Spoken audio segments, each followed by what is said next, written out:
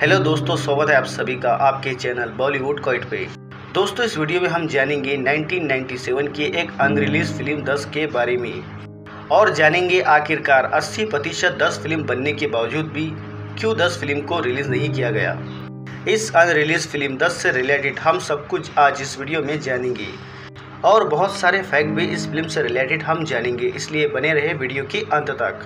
दोस्तों, आपने सुनो गौर से, दुनिया वालों बुरी नज़र न हम पे डालो, चाहे जितना ज़ोर लगा लो, सबसे आगे होंगे हिंदुस्तान, ये गीत तो ज़रूर सुना होगा अक्सर 26 जनवरी और 15 अगस्त जैसे दिनों के मौके पे ये गीत सुनने को मिलता है।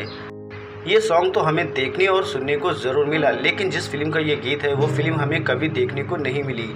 ये फ़िल्म बॉलीवुड के दिग्गज डायरेक्टर, प्रोड्यूसर रहे मकुल एस आनंद द्वारा बनाई जा रही थी।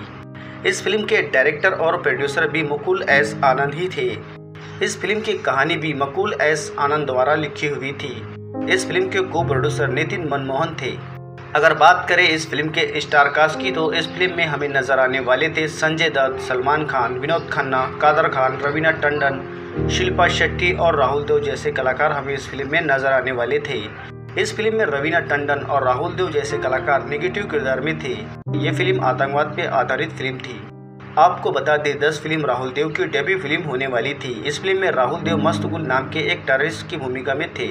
लेकिन बदकिस्मती से ये फ़िल्म रिलीज़ नहीं हो पाई और राहुल देव सन 2000 की फ़िल्म चैंपियन में हमें पहली बार नज़र आए। बात करें अगर इस फ़िल्म के किरदारों की तो इस फ़िल्म में संजय दत्त, कैप्टन राजा सेठी के किरदार में नज़र आने वाले थे। और सलमान खान, कैप्टन जीत शर्मा नाम के कैरेक्टर का रोल प्ले कर रहे थे। विनोद खन्ना इस फ़िल्म में आर्मी जनरल का किरदार निभाने वाले थे। और रवीना टंडन पहली बार हमें इस फ़िल्म में टरीस नसीमा नाम के एक निगेटिव किरदार में नज़र आने वाली थी। और वही शिल्पा शेट्टी इस फ़िल्म में एक न्यूज़ रिपोर्टर के किरदार में नज़र आने वाली थी। और वही राहुल देव टेररिस्ट मस्तगुल के किरदार में हमें इस फ़िल्म में मेन विलन के किरदार में नज़र आने वाले थे। दोस्तों, आपको बता दें, डायरेक्टर मकुल एस आनंद काफ़ी बड़ी बजट की फ़िल्में बनाने के लिए बॉलीवुड फ़िल्म इंडस्ट्री में जाने जाते हैं। उन्होंने एतबार सल्तनत, अग्निपथ, हम, खुदा गवा और तिरुमूर्ति जैसी काफ़ी बड़ी बजट की फ़िल्में बनाई हैं। और साल उन्नीस सौ सतानबे की दस फ़िल्म भी एक काफ़ी बड़ी बजट की फ़िल्म थी। दस फ़िल्म की शूटिंग 80 परसेंट तक कंप्लीट हो चुकी थी, लेकिन जब इस फ़िल्म की शूटिंग अमेरिका के उताहा स्टेट में हो रही थी, इसी दौरान डायरेक्टर मकुल एस आनंद को दिल का दौरा पड़ा। और इसी लोकेशन पे मकुल एस आनंद की हार्ट अटैक की वजह से मौत हो गई, जिसकी वजह से इस फ़िल्म की शूटिंग को रोक दिया गया।